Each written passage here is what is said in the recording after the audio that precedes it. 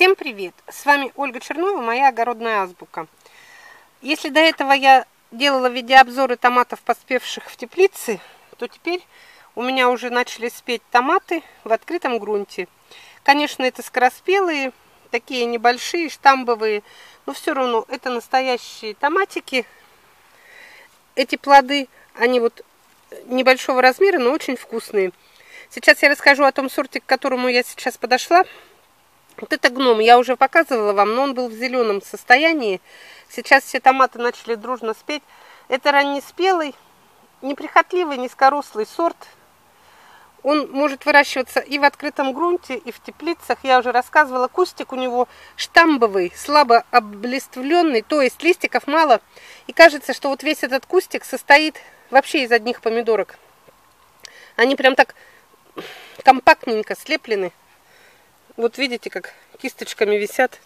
Вот тут, ой, сейчас покажу. Вот смотрите, какая кисть богатая такая. Вот он начал у меня сейчас спеть.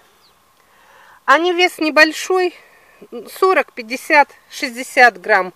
Если вот будет режим полива нормальный, то могут до 70-80 грамм дорасти. Но вообще обычно они не бывают ни большие, ни маленькие. Они все одинаковые. Видите, они как идет размер один – он один, один в один.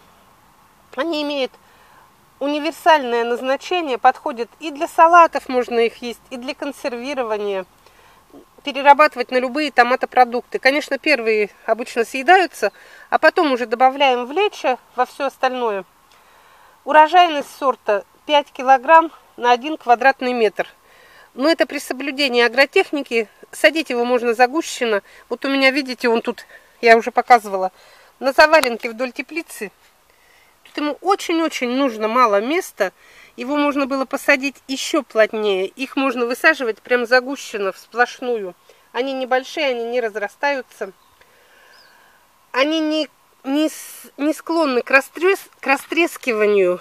Они очень хорошо лежат и хранятся. Их можно перевозить на дальние расстояния. Ну, в общем, такой неприхотливый.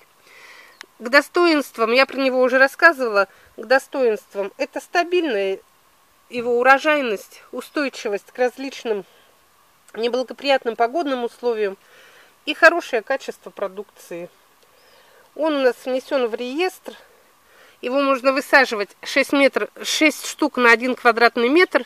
Если у вас где-то маленький кусочек земли есть, вот посадите гномика. Он вас порадует очень-очень рано вот такими спелыми плодами даже в таких холодных регионах, как наш сибирский. Но я имею в виду холодных, это весной у нас было холодно, потом у нас была жара, вот он вынес и весенний, и весенний холод, и вот эту вот затяжную, жаркую нашу погоду, поспел.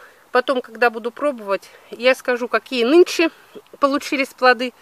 Вообще, конечно, скороспелые, они не такие мясистые, как крупноплодные, они немного могут быть с ноткой кислинки небольшой, но вот нынче томаты меня поражают своей сладостью из-за жары, из-за продолжительной, очень много солнца. Возможно, и скороспелые томатики будут у нас нынче сладкие. Все, это была с вами Ольга Чернова.